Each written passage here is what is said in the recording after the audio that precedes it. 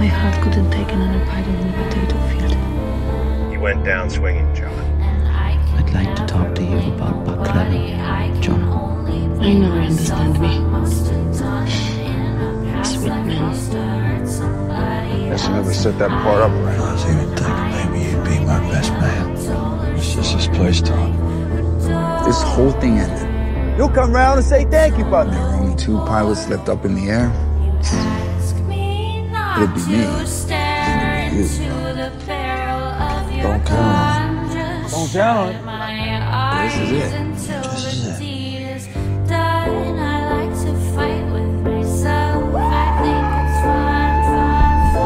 You always tell me where luck was My down. lucky deuce. Gale, Lucky. Jesus, John. this time I can feel it. Nine, nine, six. You ready to go home? You ready to see more?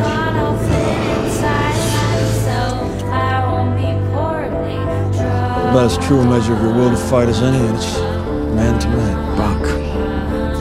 Buck. That's why you don't like sports. You wish you'd done it different.